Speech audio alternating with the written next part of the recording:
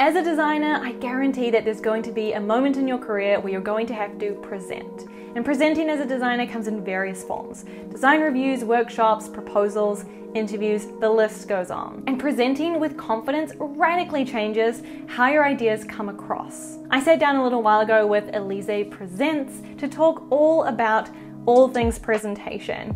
And what you're about to see is a 45 minute live stream replay that I did with my community members. And if you want to catch these sessions live instead of a few months later here on YouTube, join my community via the link below. And by joining the community, you can join these live streams free, ask questions in the chat, and connect with Elizé. She's a design speaker and educator for Adobe, as well as the founder of Presenters in Pajamas which is a coaching program for women to help them ace their presentations and build confidence presenting. In this live stream, we cover topics like building your presentation skills and particularly how to approach giving presentations, especially if you're shy or you're introverted or you're really nervous, what you can do in those moments to come across with confidence. We also talk about how to prepare for a presentation, what to do when the unexpected happens, when there's road bumps, something throws you off, you forget where you were going, I've, I've experienced that. I feel like we've all experienced a little bit of that. So we talk about that too. And of course, also how to present with confidence and how to prepare, what confidence means, and some tips and tricks on how to get you confident and feeling prepared for your next presentation. Join the community if you want to catch sessions like this live in future. Otherwise, enjoy the replay.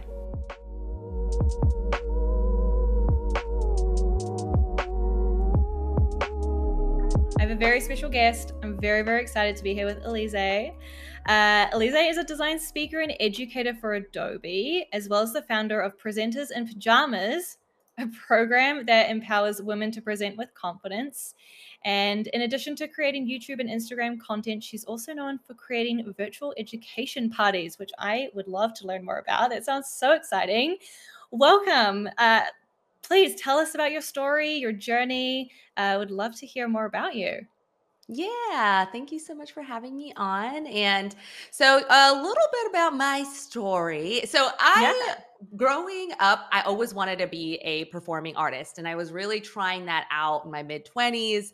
But really, what I ended up doing was waitressing, Uber, working wedding parties, nannying. And I was like, I'm not going to be touring with Lady Gaga anytime soon here. So, like, I need to switch gears. And that's when I found UX. Um, so, yeah, that was in 2015. I found UX and I took the boot camp at General Assembly full time program. And a couple months later, I landed my first job at Wpromote, a digital marketing agency. And I was the mm. first UX designer there, and I built and grew a team there. And a year later, I started an agency with my General Assembly instructor, a UX agency, and one of our clients was Adobe. And from that, when I started to create YouTube videos and stuff, some people at Adobe had seen it and they were like, "Hey, do you want to do some live streams?" I'm like, oh, "Nice, yeah, yeah." so that kind of like started, like started this whole thing about me with me like presenting on camera and educating and i became part of the adobe xd enterprise program. So i teach enterprise clients how to use adobe xd but i also am part of their live streams where i do live streams and, and teach the broader audience as well. And then from there i was like you know i am kind of feeling like i'm leaving you the UX world and I'm mm. like entering something new. I felt like it was in my body, like something's I think I feel the change coming this year, 2022. I'm ready for change. Yeah. And um, what came up was I realized I love talking about presenting. I love reading about it. I, I find that what I spend most of my time and energy on is where I should kind of lean towards.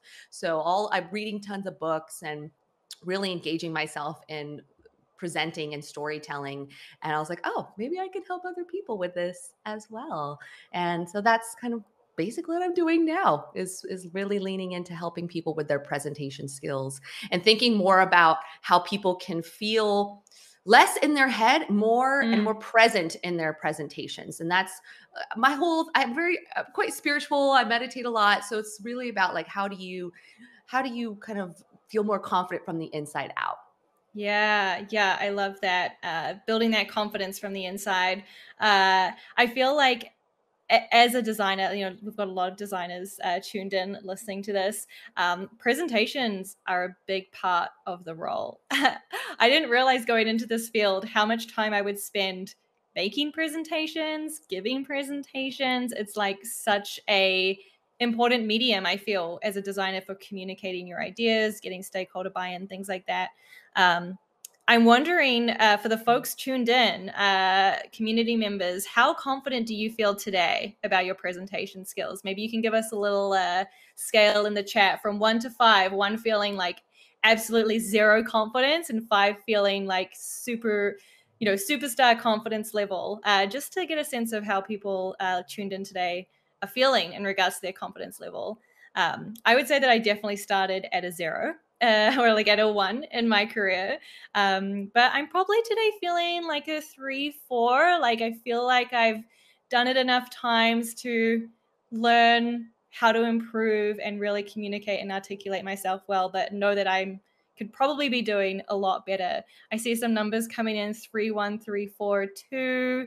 Felt more confident at my last job, like an eight, feeling at a five. Okay, so you were feeling more confident in your previous job it is scary when you join a new place. I feel you have to build that confidence back up.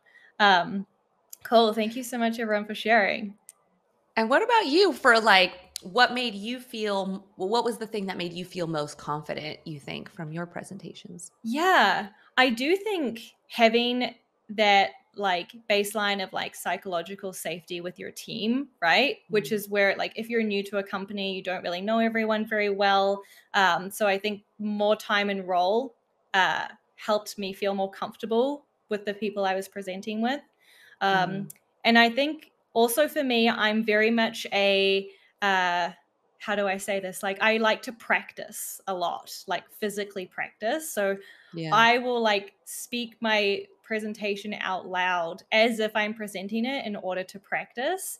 Um, and that's really, really helped me prepare for my presentations and feel more confident delivering the message because I feel like when I'm verbally practicing, I can trial a few different ways of, of saying something or sharing a message.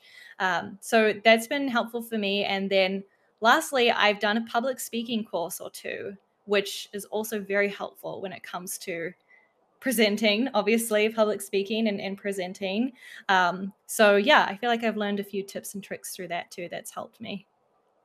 Yeah, it's amazing what like when you actually verbally practice how much more you learn from that than what you've written out or an outline. Because when I'm practicing, I'm like, "Oh, that's awkward," or like that didn't flow right. Yeah. Or you learn something new. You're like, "Oh, I want to add this," like because it just felt more it felt like it, it, it, flowed better when you were just speaking it out and then you have all these different new ideas that you can add to it as well so i think that's a really important piece yeah totally yeah uh, for the listeners tuned in if you have any questions throughout the stream feel free to pop them in the chat. Mark them as a question. We're going to save some time for q&a uh, but let's let's kick it off with sort of the topic of like building your presentation skills right? Yeah. Um i know a lot of folks uh probably feel more on the introverted side, right? And when you combine presenting, public speaking, uh, this can be really challenging for some some people. So for someone who is introverted,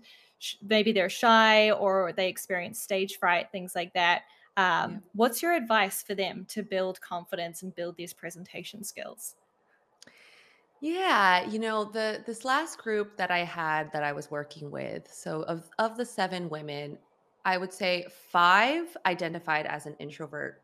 And so it was interesting to watch the evolution from from their perspective and and we've chatted back and forth on, on reflection of this experience and one of the things that was a big factor was they the willingness to be uncomfortable so something mm. that i recommend that anyone can do at wherever they're at is to start with little things to start feeling a little uncomfortable, pushing yourself a little bit with whatever that means for you, whether it's on the street, I start to smile at people instead of just looking away, right? That might be something that makes me a little uncomfortable, but yeah. I'm practicing that. So when you start practicing things in your day to day that make you a little uncomfortable, you start kind of leveling up, right? How, how uncomfortable things are for you. Now you're like, oh, I could smile at anyone at, at all at all times on the sidewalk. Now you're going to maybe level it up a little bit. Maybe you're going to strike a conversation with people on the side on the sidewalk, whatever it is, right? You you kind of consistently level up. And there you start to build that capability and understanding of, oh, I can push myself and I feel confident that I can do more things that I thought I wasn't capable of. Mm. And so in my group, we were doing things and a lot of presentations and um, understanding ourselves and being vulnerable in ways that made them feel uncomfortable, but in a safe space that they continued to practice and then we're like, oh, yeah, talking to my stakeholders about my designs is kind of like not such a big deal anymore because I've been practicing this. It's like flexing a muscle, right? Flex- flexing that uncomfortability muscle. Yeah. Um, yeah. And how, how might like, let's say a designer, how might they create that space to practice, like whether it's on their team or, or outside of their team? How do you kind of create that environment? Do you have any suggestions? Yeah, I think that you can find ideally, you know, people in your team that you can ask, "Hey, do you do you want to practice this presentation beforehand? Can I get your feedback? Yeah. You know, spend some time on a call together. You can do it with some friends. You know, I had someone who would just practice with anyone that was willing to listen to them, just like practicing that. Yeah. I practice with my husband. Um, and of course, you can also find like a more formalized group if you're like, I don't know anyone I could practice with. I don't feel comfortable with anyone around me. Then maybe you can try to look for a group. Obviously, I have a public speaking group, but there's also Toastmasters mm-hmm. as well that you can that is a nonprofit that you can look into. So there's different avenues that you can go into if you want something more formalized as well. Yeah, yeah, there's a lot of different options. I like the idea of like asking around in your team if there's anyone who wants to practice with you or chances are yeah. like you're not the only person, right, who maybe is struggling with this or wants to improve in this area. Mm-hmm. So I think just asking and seeing who else might also want to work on these skills and maybe you can work together. Um, that's really helpful to have like a buddy that you can sort of gut check things with or like practice with uh, i feel like is really valuable.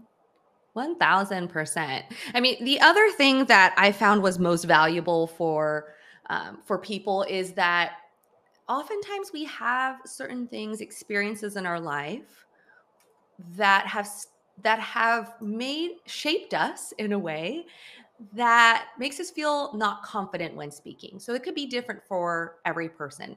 For me, having a mother who had English as a second language, she would always say, you have to speak great English in order to move up in the right. world. So I thought I need to be perfect. I need to have be the most articulate person for people to respect me. Um, not not going to college, having a boyfriend that made fun of me for not going to college, that really affected me and yeah. the way I thought people received my my information. So really kind of instead of escaping those I, those experiences is to really dive in and think about them and you, there's called like opening the wound. Yeah. and then you heal the wound. You think about what are some of the good things that came out from this experience? What are the lessons that I learned? And what is the advice I'd give myself now, uh, my current self? How would I my current self give my past self advice, right? Looking at it from a different perspective and really kind of heal those little wounds so you can move forward as well. And that's also pretty impactful. Yeah, that self reflection is so important. Uh, why yes. why should designers invest in their presentation skills? I mean, I talked a little bit at the beginning about how I feel like as a designer, presentations mm. are a big part of my job. Um, but from what you've seen in the designers that you've you've coached or talked to, um, what are some of the benefits by investing in their presentation skills? There are so so many benefits to being able to articulate yourself. One of the things I think about is like you know you you might have such great ideas right but if you can't articulate it the world will never know yeah. about it and that's really sad um, the other thing that's kind of strikes home for a lot of people is just like oh my gosh i hope they don't I hope they don't like ask me to do a presentation. Oh, please don't call on me. Right. Having uh. that fear and anxiety at work is somewhat debilitating, right and but inside you know oh i have so much to share i have so much to give i have some great ideas but you there's a block between between your great ideas and being able to communicate it and i think that it's so important to you know when we're wanting to get hired being able to communicate who we are what we have to offer when we want to move up in our companies when we want to especially now with zoom is everything right so we're kind of presenting whether we know it or not like yeah. even if we're like doing a stand up we have to talk about what we're doing and working on for the day so it's a constant thing and if mm-hmm. you're fearful of it you're you instead of working on it you're finding more and more way i guess more and more touch points of fearing public speaking and it becomes bigger and bigger and greater and greater and scarier and scarier as time goes on.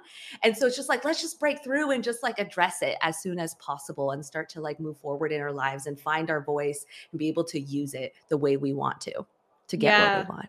Yeah. I've definitely noticed in my career the designers who do have strong presentation skills are better able to like communicate their ideas, their design decisions, better convince stakeholders and get buy-in on their projects. Um, and I feel like storytelling is a big part of this too, right? Like being able to like bring your audience along on the story and you know have your information be really easily digestible. Um, is is super important and i've definitely seen the designers who are good at that kind of accelerate a little bit in their career and in their projects. Sort of like unlock something. Yeah. oh 1000% i think that the reason why i was able to go from not knowing anything about tech to going in getting into UX, moving yeah. up into director role, moving up into you know co-founding an agency within 1 to 2 years was because of my presentation skills, mm-hmm. was because of the way I could communicate.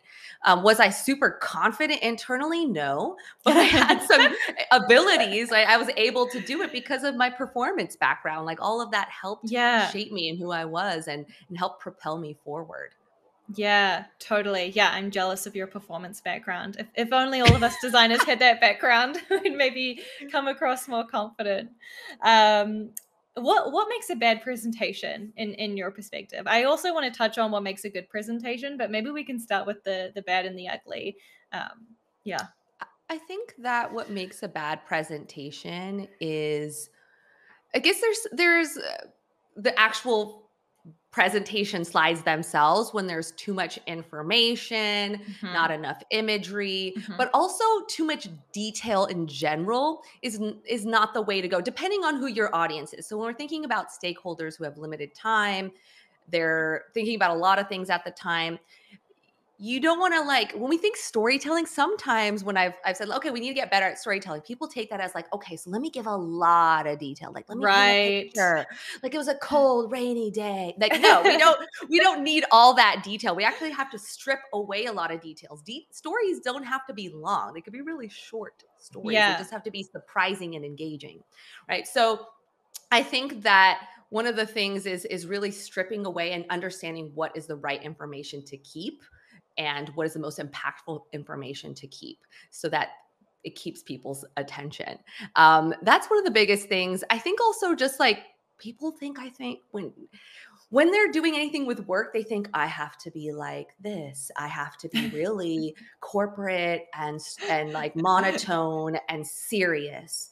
But instead, it makes people feel a little uncomfortable mm. sometimes. Mm-hmm. So thinking about just like your facial expressions, your gestures, your body language, opening it up, showing your personality actually makes people trust you more. Yeah. So people think they have to shy away and hide away, but in actuality, you want to open up and show more than you think, right? So yeah, I think that those are some things that help help kind of make a, a better presentation. Yeah.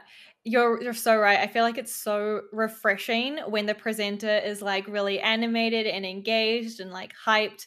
Uh, it just totally changes the mood in the room, the virtual room too. Uh, so I feel like that's so important. Um, also, what you were mentioning around like considering who your audience is, I think is so so important. Uh, I remember a time when we were giving a uh, I think we were doing a little review um, where we wanted to get like VP product level feedback on our project. Uh, and I remember presenting the sort of two ideas and two directions we had. And I guess I must have started going too much in the weeds because this VP sort of cut me off and was like, I get it. You don't need to go into the details move forward like keep moving forward. And in that moment i was like oh my god like uh, you know i i got i got stressed and i was worried and like lost my confidence. But then at the same time when i reflected back on it i was like that was a really good lesson actually for mm-hmm. me um to to like learn you know okay consider the audience. This is a vp of product. I don't need to spell it all out. They get the gist really quickly. They just need the high level you know takeaway not not the the, the details of the weeds. Um, and so that was a good lesson for me. I think since then i've really thought about who is the audience how much detail do i need to go into um, and what is really the goal of this presentation? Like what what what do we want to end with? What do i need to get out of this? And how can we get there as quickly and efficiently as possible yeah, that's great. And I also love how you're even opening up that wound, talking about healing from that. What's that learning lesson and moving forward yeah. and using it as it's funny because, like, so I do volleyball and I take volleyball lessons, and I have a coach who does like, uh, who really who really like gives me feedback in real time like move your shoulder this do that right and like really helps perfect it and i love getting this feedback but the thing that's different between that and like public speaking is when you're giving someone feedback, you suddenly feel so much more sensitive. Right? Yeah, There's a stark the difference between your physical body, like in sports, versus getting training for public speaking. And so mm-hmm. it's it's funny because I think about that and like how we we can try to be less sensitive and think about it more like a skill that we're just trying to grow and learn it and think about yeah. being a designer and just trying to level up and just trying to improve and iterate on ourselves and and try to take a step back from being so emotionally tied to any type of piece of feedback being like okay great that's that's a great learning lesson let's move forward yeah let's this. move forward yeah especially in the context of a presentation i feel where it's a group of people often right it's not often like a one-to-one it's like in front of everybody um but yeah i think just taking it like taking the high road with it and, and moving forward uh, that's what i did uh, yes. okay what about what makes a good presentation then what a, what's an example maybe of a really great presentation you've seen or some common you know things that you've seen in, in good presentations I think that one of the main things that is somewhat one of the hardest things for people is to be present in your presentations. What? Who would have thought? When you're present right and you're engaged yeah and you you're not trying to rush through it you're not trying to just read off of the notes that you're having you're just reading it word for word you're actually present and interested in what you're saying and interested in what you're sharing to other people. So i think that's really the second part is being engaged and being excited with what you're sharing. You're passionate about what you're sharing and passion is contagious. So i think that when we think about what is what is really the thing that connects us to our work or what is the thing we're excited to share with the company, our team, or stakeholders to really feel connected to that and try to be as present as we can in those presentations. And so I, I always tell everyone to try and do a 10 minute meditation beforehand, mm. do breathing exercises beforehand, vocal warm ups. I have a whole routine to calm my body, to, to calm my mind, and to really feel like I'm I'm actually I'm here and I'm ready. And I'm when you're when you're doing that too, you're you're able to when when people throw something off the out of out of that you weren't expecting a weird a question that you weren't expecting or maybe yeah. there's some interesting chat that's happening or maybe you made a mistake all of those things become a lot more manageable when you are present and, and you're able to receive and give back and be able to think through things in in real time. Yeah i also feel like by being present you better capture the attention of your audience. Um, it's it's really obvious when someone's not present or not like speaking from the heart i guess like you can tell they're reading a script or they're just like saying exactly what they've been told um, and it's not as engaging or, or as exciting uh, as a as an audience of of that presentation.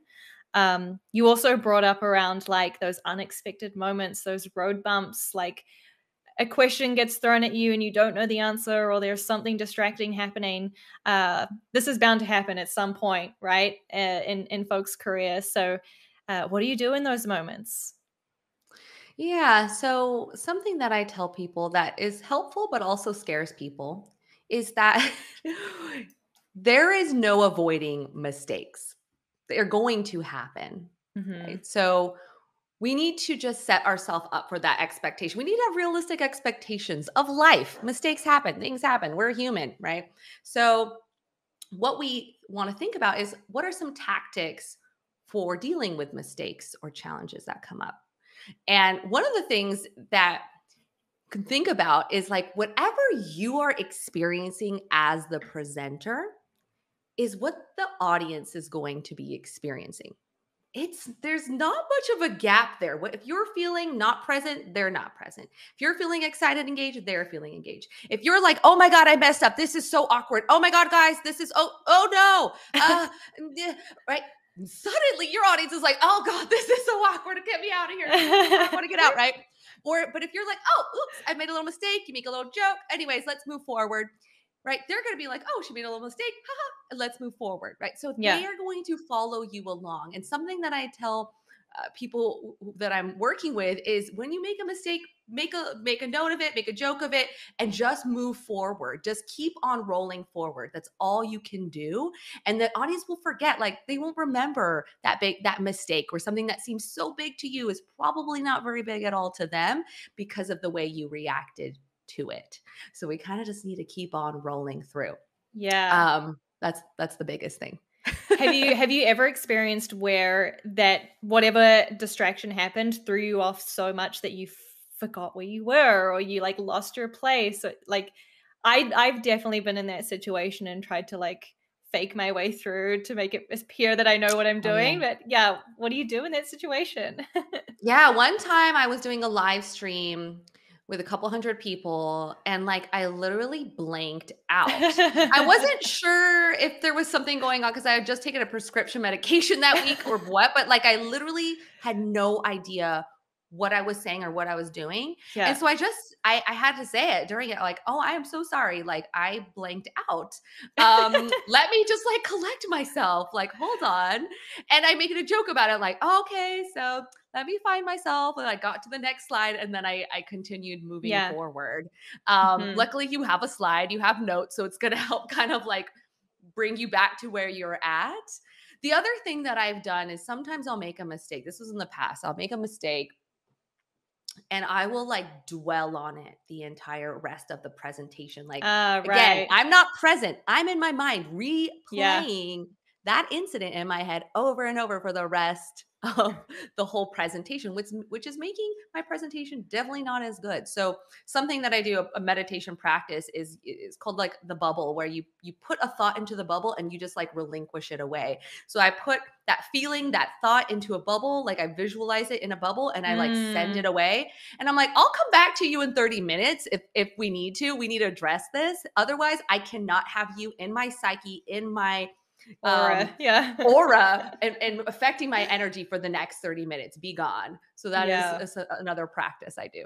yeah, I, I'm loving all the like little like meditation kind of drops into this, um, which makes so much sense.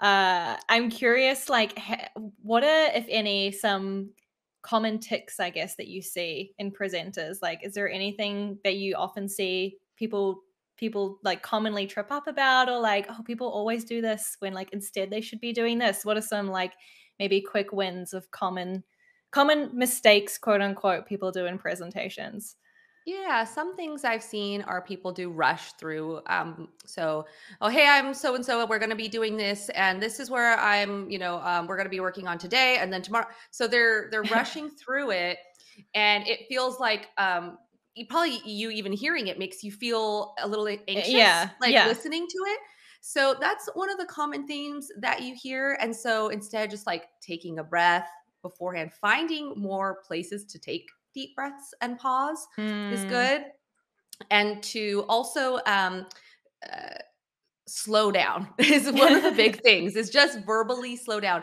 i've had i've had to work with people where i ask them to record themselves replay it and listen to themselves because they are not aware of how fast right. they're going It's so and hard even to I'm like- tell. it's hard to tell when you're in the moment Mm. and so what we've done is just practicing okay give, give me half speed even more half speed even more half speed so like really slowing things down to start to feel more present that's one thing. The other thing is uh, the monotone so not having any vocal variety. So we want to think about how can we have more higher tones a little bit more lower tones? How can we think about color words? So thinking about like if we're saying powerful right we want to emphasize powerful instead of just like that was a very powerful presentation. We want that was really powerful presentation. It starts to mm. bring people closer into engaged with what you're saying. I did a lot of vo- voiceover work too back in the day so i'm very aware of my voice and that's something i recommend to people is even just listening back to their voice and and not looking just for what's negative but to also look for what's positive what is something good about my voice? What are things what are my natural strengths? And then where are some areas that i have uh, opportunity to grow in? So um that's that's another that's another piece. There's a lot that i could go on but those, those are a couple No, that's a great start. I, I feel like I often hear people hate listening to their own voice. Uh, as a content creator, I'm sure, like me, like I'm so used to hearing my own voice all the time. Uh, so it doesn't bother me anymore, but I, I know a lot of people have trouble listening to themselves. Oh yes. Oh, definitely. Um, I was working with someone recently. She hated her voice. She also hated that she had an accent. Um, and she recently was like, you know what? I've now learned no more self-loathing about my voice. Like this is my voice, and I'm Mm. going to use it. It's going to empower me. One of the things that you can do just like you and I are doing is exposing yourself to your voice, listening back to it, kind of starting to desensitize yourself. And again, Yeah. looking for what's positive helps with that. And if it's too much to think like, oh, I need to be critical of my voice, just really think about just kind of maybe playing it in the background when you're going to the bathroom. just be playing it, exposing yourself, and then being like, oh, what's what do I like about this? Okay. Right. So it, you know, just just that exposure is really helpful. Yeah, yeah, I love it. Uh, let's talk a little bit about confidence and imposter syndrome. Um, any tips for coming across as confident when presenting to stakeholders or trying to be more convincing in your presentations? Maybe you're trying to sell an idea or get buy in for something. Any advice for how to do that? Yeah, I think that one of the things that we need to think about is is just the fact that they are human beings as well. Yeah. And um, something that I did in a presentation today that I was talking about is is is finding the dirt on people online. This is the most childish tactic. But hear me out. So the more you humanize other people, the more you're gonna feel like, oh, we're the same. We're just human beings. Right. And so my my husband had a boss who was really stern, who was really flat, and he really felt a big divide. My husband found a blog from uh, the, his boss's wife, and the wife would refer to her husband as hot hubby throughout this blog. And we were like, oh my gosh, hot hubby, you have to be kind of a teddy bear, like a lovable teddy bear to be called hot hubby. And in the blog, you see him taking care of her when she's sick. It just really humanized him Mm, for us, and we saw him in a completely different light. So I'm like, okay, find you know, find a little dirt on people online, not dirt necessarily, but find you know, there's a lot of things. a way to humanize them a little bit more. Yeah. Yeah. Maybe it's through conversation. Maybe it's going through co- to coffee, going to work events, and being able to strike a conversation. But if that feels uncomfortable, maybe there's things you see them, you know, see them doing uh wine wine nights with their girlfriends, and you're just like, okay, they're just like a regular human being. Yeah. Uh, so internally having like a similar playing fields, like there's that. Um, I think also the body language and voice control. Like when you have control over your body, you're self-aware of what's going on here. And instead of being like, hi, um, you know, I'm feeling like, right, if we can start to open up our body, use gestures appropriately, have voice control, all of those things are signals to other people that you feel confident and that they want to engage and want to learn more from you. The other thing is storytelling skills and being able to structure your presentations in the way you talk to people with um, with a lot of forethought. So, something I talk about is like luring the stakeholders, teasing them within the first 45 seconds whenever you present. Mm. I think about that mm. for any type of presentation. How do you tease someone within that first 45 seconds? So, thinking about what can you explicitly talk about one of their like their the business goals? Can you talk about the big picture? Do you even understand big picture what's happening? If not how can you really understand the big picture how your designs fit in that bigger picture? Can you talk about threats that they weren't aware of? Can you tease a solution right? So how are you able to incorporate some of this to kind of lure them in with things that they're actually interested in very quickly yeah, yeah, I I love that. Like giving them a little tease or a little taster of like what's to come to like hook their attention. Um, yeah, I I have been in situations with like these stakeholder reviews where like conversation kind of gets off the rails you run out of time oh i had so many more slides we didn't get to it um, you know i think there's an element of like timekeeping and ensuring it's not just one voice always giving the feedback and kind of like facilitating discussion. Um, any advice on how to do that as the presenter? I feel like sometimes it's it's a lot to try to like present and also facilitate and also time keep and also take notes. Um, so in the past i've like reached out to colleagues to like kind of help in like hey can you help take notes for this meeting or hey i'm going to dedicate so and so as timekeeper for this meeting um, what are some other things that that maybe could work in this situation if any yeah, some things that I've done because I've definitely had a lot of interruptions during my hmm. presenting. And so, something I'll do is before we get started, I will show a couple slides of how this meeting is going to go.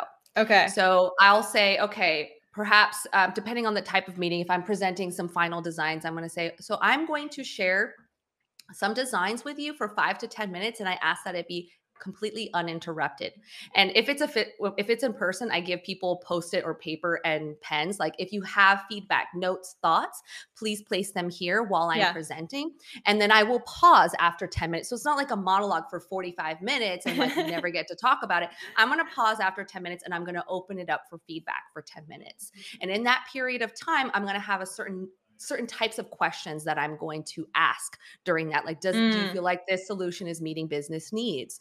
Um, is this going in the right direction? So I have specific questions that I'm asking during that feedback period. The other thing that I'm doing during that period that I'll tell them up front is when you have feedback or something you want to share, I would also like for you to tell me the motivation behind that feedback.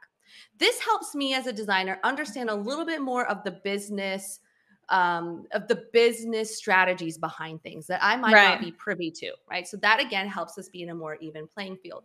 The other thing I tell them is I'm also going to if you I'm also going to open it up and let you know why that design decision may have been made because I'll tell them up front like I'm not just exploring one design decision. I'm thinking a lot of different things. There's a lot of research. There's many reasons why something is the way it mm-hmm. So I want to express some of those things to you so that you also understand mm-hmm. um, everything that's gone behind that decision. So that when we start to come up with solutions, you're not bringing up things that I've already thought about. You're yeah. not taking us down rabbit holes that I'm already aware of. So that now we are in the same even playing field before we start really diving into solutions and brainstorming together.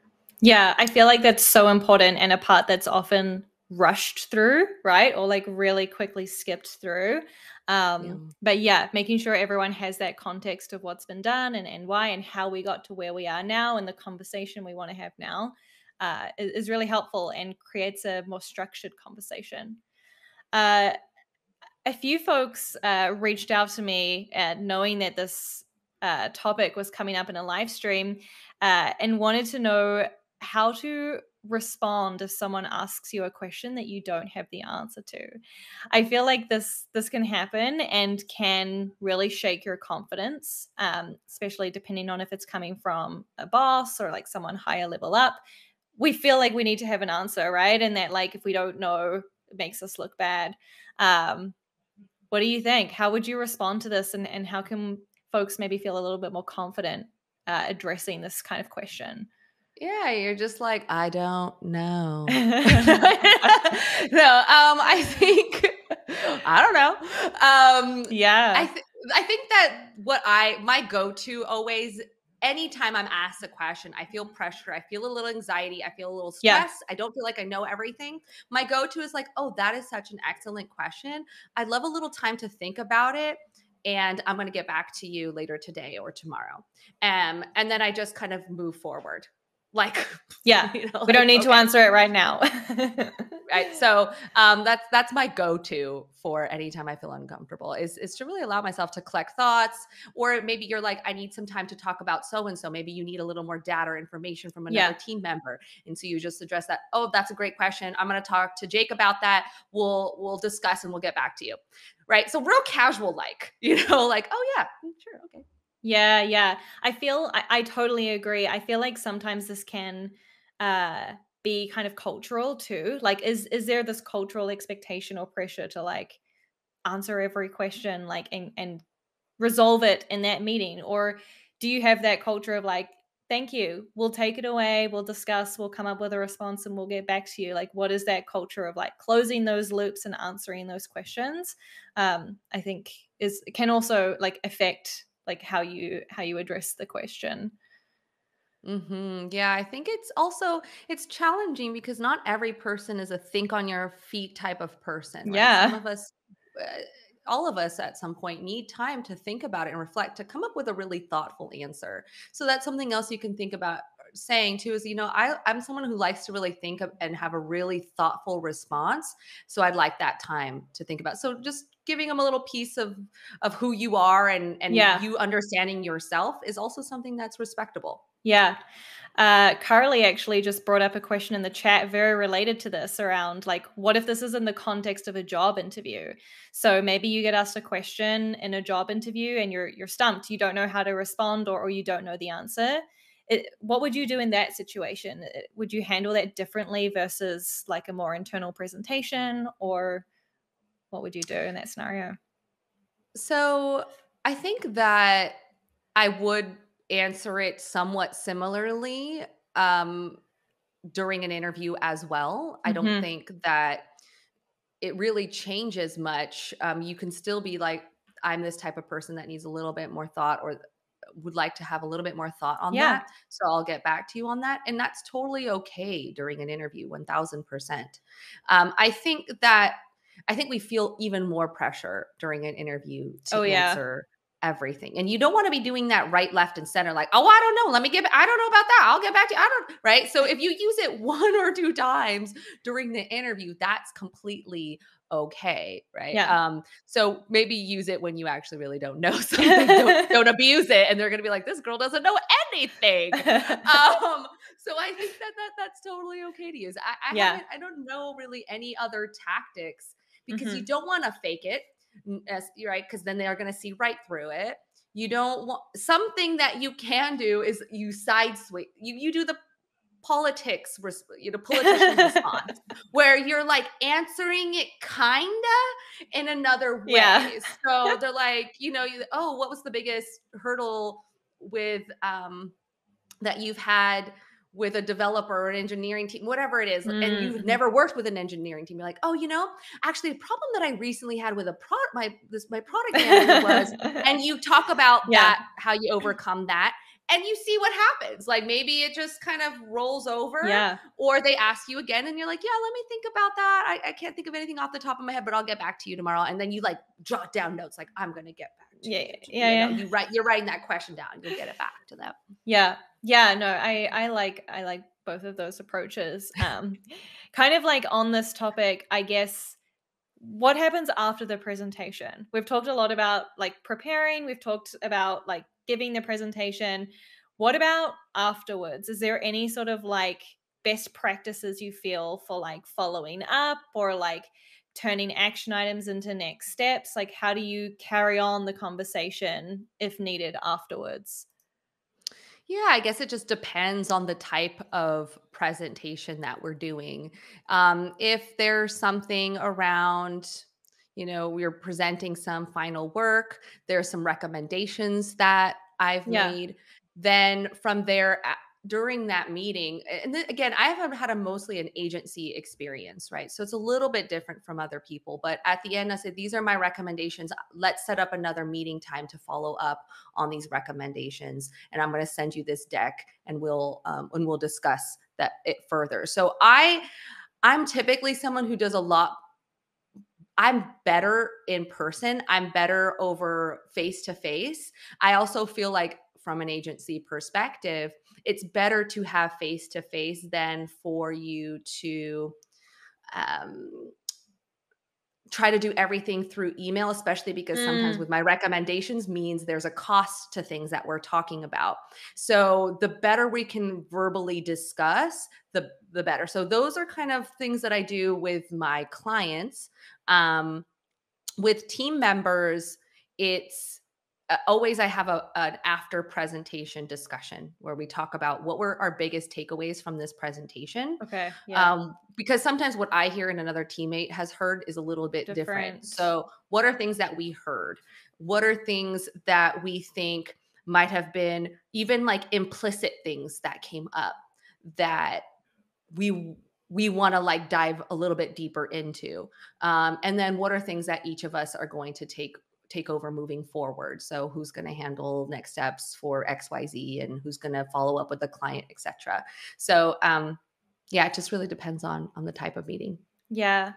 Yeah, I uh I find that or I found like uh, at my previous company there was like a shared process. And so there was this like expectation of like after a presentation you post an update in in the relevant channel in slack and like with a link to the mm. recording here's the action items the attendee like list of attendees things like that um, at my current company it's a bit looser it's kind of like up to the designer on like what process they want and how they want to continue you know moving the conversation forward um, mm. but i mm. do generally find it's best practice at least if it's something like a design review to kind of summarize high level like here's what we heard here's some next steps here's the links to things or whatever um, can be can be really helpful also like kind of what you were saying with you and your team members level set like did we hear the same thing like i find that achieves that a little bit where it's like okay here's what we heard high level and if that doesn't align with someone else they'll be like oh actually no i thought i thought this was what what we talked like what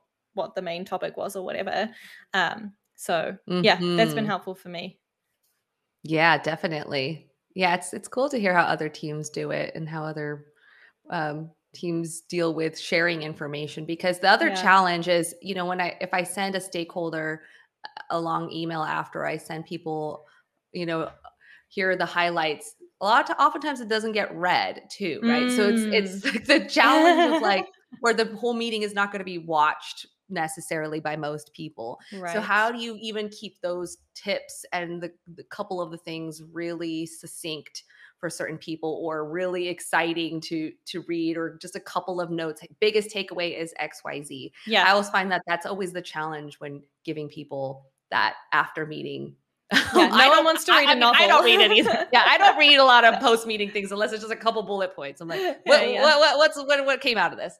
yeah, I think that I think that's fair. Again, like consider your audience, right? Are they going to have the time to read this? Like, what is the information they they need to know? The high level takeaway. Yeah. Uh, okay, great. We have a question in the chat from Jillian, uh, who asks, "Any tips on being better at thinking on your feet when fielding Q and A in presentations?" This is where a lot of my anxiety stems from. Earlier, you mentioned meditation. Anything else? One of the biggest things that my group had ta- taken away from our presentation course is improv. All of them mm. loved the mm. improv. So I incorporated a lot of that. I have a theater background as well. So I basically just brought meditation, my theater background, and my presentation all in one. So the improv is what what people really liked because they're like, oh, I hate thinking on my feet Yeah. and it feels really uncomfortable. I like to, some people really like to have everything thought through beforehand.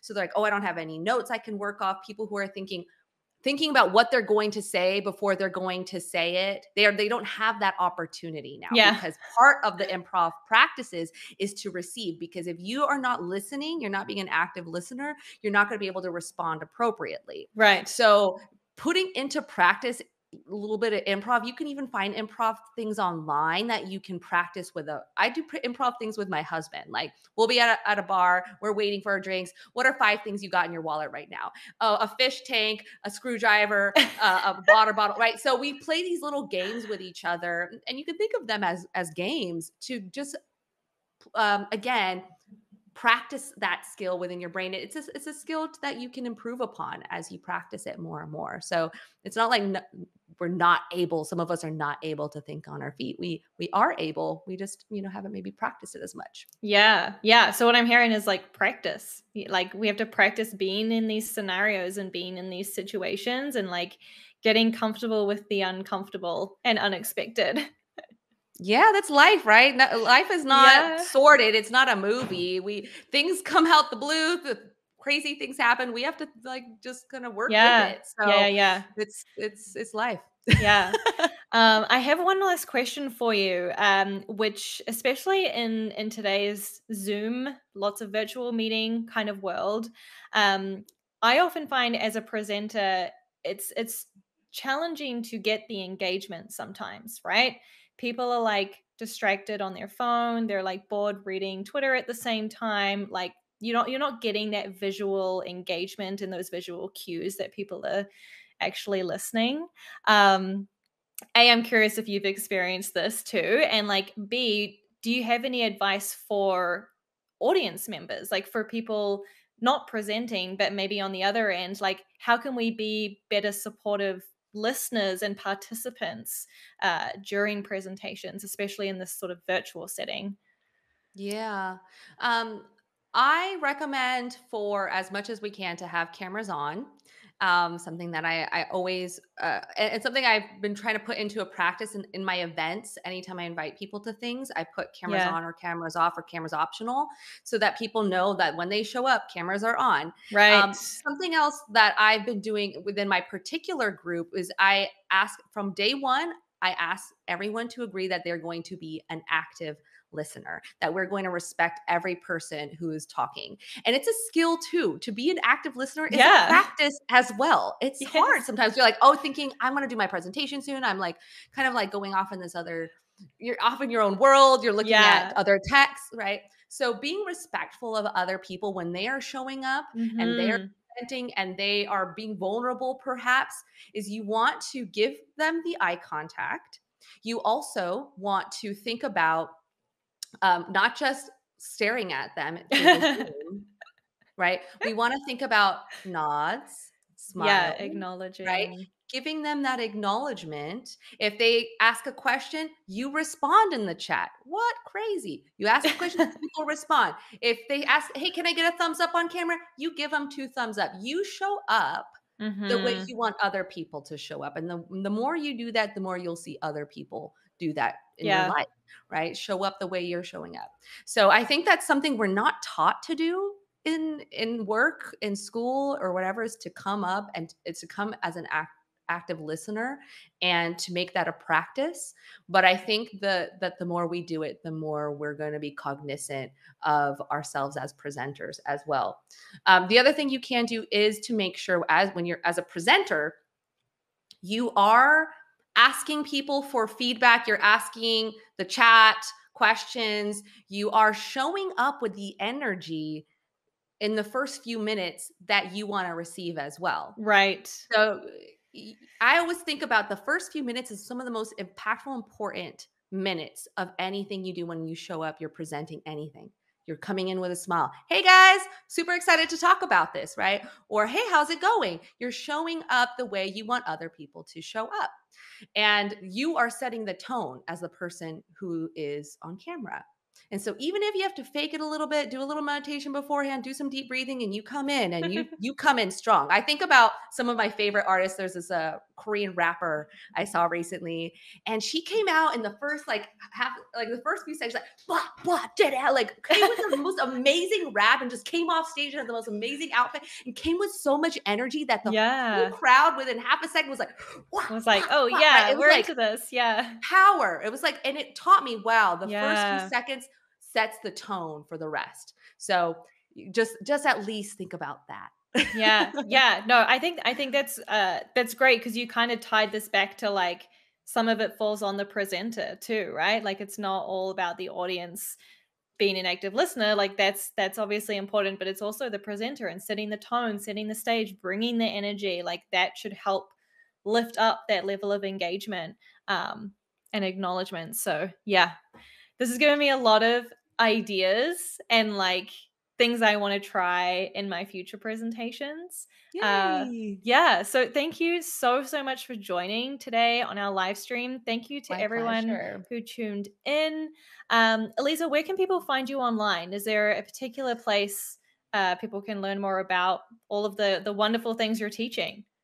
Yeah, you can. Um, I'm on social medias. I'm on all the socials Instagram, TikTok, YouTube, LinkedIn. Um, you can find me Elizé underscore presents. I'm uh, uh, Elizé Laborn on LinkedIn. I can drop in some I just dropped in some links too in the chat oh, nice. um, to stay Thank connected. You. And you can also go to my site, Elizé Presents. I forgot to put that, elizepresents.com. So you can find me. There's not that many Elizés out there. So put Elizé Presents in Google, you'll find me. We'll find you. We'll find you. Great. Well, thank you so, so much. Uh, this was such a fun topic to talk about. And I, am sure a lot of people listening today uh, are walking away with something that they want to try uh, in their next presentation. So thank you so much. So. Yeah. yeah. You. All right, everybody, have a wonderful day. And we'll see you in a future live stream. Bye-bye. Yeah, bye.